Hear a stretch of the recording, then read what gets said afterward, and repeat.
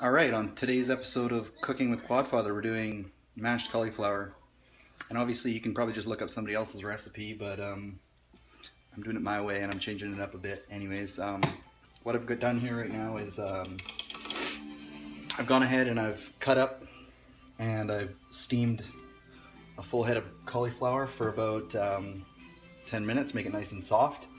And what we're doing now is we're adding, um, giving it a shot of Can't Believe It's Not Butter cooking spray, which gives it a nice buttery flavor. As you see this stuff, it's kind of creamy whatever.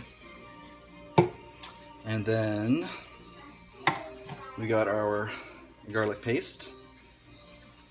And we're gonna put some of that in there. Garlic is delicious, so get that in there. This is pretty clean too. It's not um, it's not terribly unhealthy. 10 calories per teaspoon. So that comes from zero grams fat, one gram carb, 0.2 grams protein. So it's it's basically just garlic flavor. So it's pretty clean.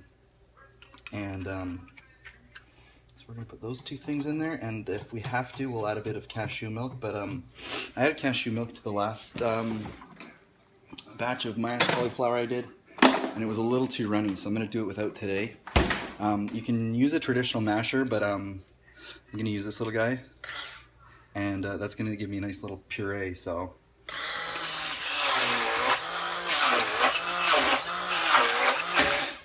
All right, so we've been blending, pureeing it for a minute here, and this is kind of what we got.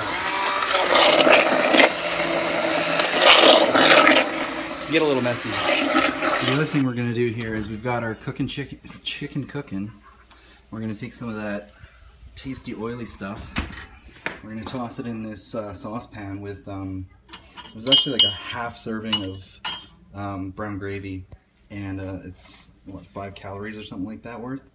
And we're gonna put that in there. We're gonna add some of the drippings, and then we're gonna uh, throw some cashew milk in. We're gonna attempt a clean gravy to go with our chicken and mashed cauliflower. All right, so here we go. We uh, we were able to get about three servings of the cauliflower mash, and that's our cauliflower mash with um, a chicken breast on it.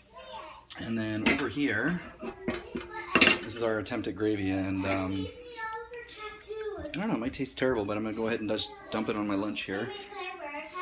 And uh, yeah, it's a little runny, but um, see how it tastes.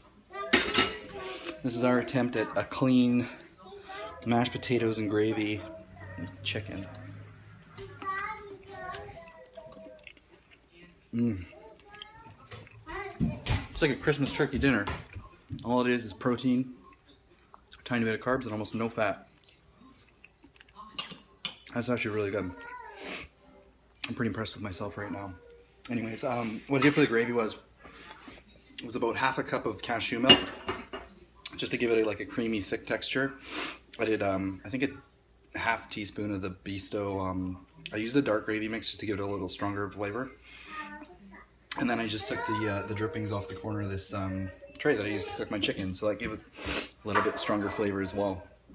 And then, um, yeah, that's pretty cool actually. So cauliflower is like 85% water. There's a few fiber grams of carbs in there, but compared to like mashed potatoes, it's that's a dream. So today's a low carb day, and that's a pretty cool lunch to be able to eat on a low carb day. And um, these are the kind of tools you got to use to get through prep. Anyways, guys, thanks for watching.